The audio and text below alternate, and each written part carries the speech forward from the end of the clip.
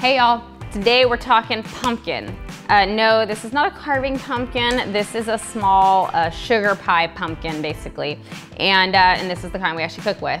I would not usually recommend cooking with the kind of pumpkin that we grow for carving up. They're just the, you know, it's just not meant for that. It's gonna be uh, less sweet. So this is a little pumpkin. You can get them a little bigger. This is usually the size I like to work with. It's a little bit more manageable.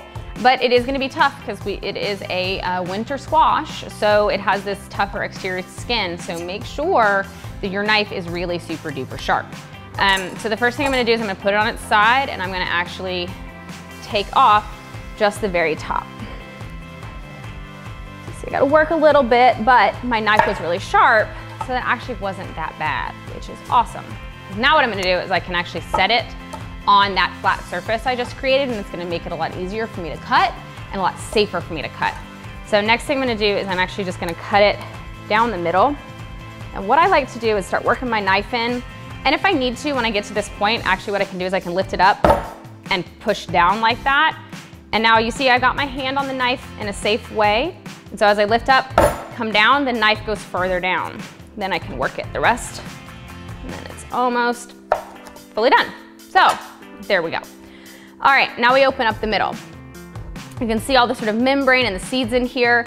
I'm gonna scoop these out. You can absolutely, and I have I do it often, where you actually save the seeds. Um, you can just scoop all the membrane and the seeds into a colander and then rinse with water and get the seeds clean of everything and, uh, and then roast the seeds on their own. So that's really good too. But for today, for our purposes, I'm just gonna scoop everything out and dump it into the trash. So to get rid of this stuff, I'm using this spoon as best I can to keep getting all these strings.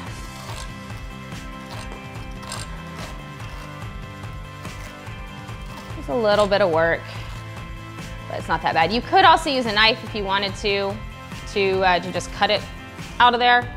Um, I prefer to use a spoon because, you know, I want to get, I don't want to cut as much, too much away. And a knife is a little bit kind of tricky to use in, a, in like the middle of a, you know, the belly of a pumpkin. So, all right, we're almost there. So I've got all the seeds out and now it's just the strings that I'm working on.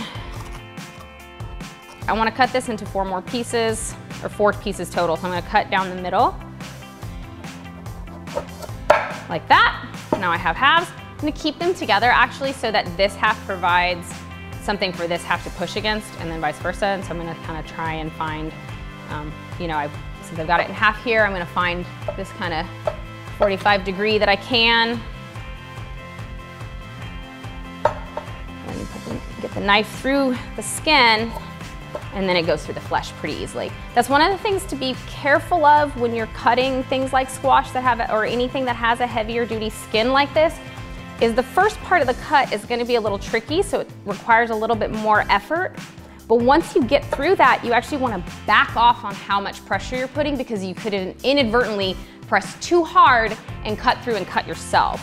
So you kinda have to, you use the pressure for the beginning and then you back off as it goes through. So, got my four pieces per half, and, uh, and then I'll throw those, I'll package those up, throw them in the fridge, and then when I'm ready to use them, they're gonna go in the oven and uh, roast like that.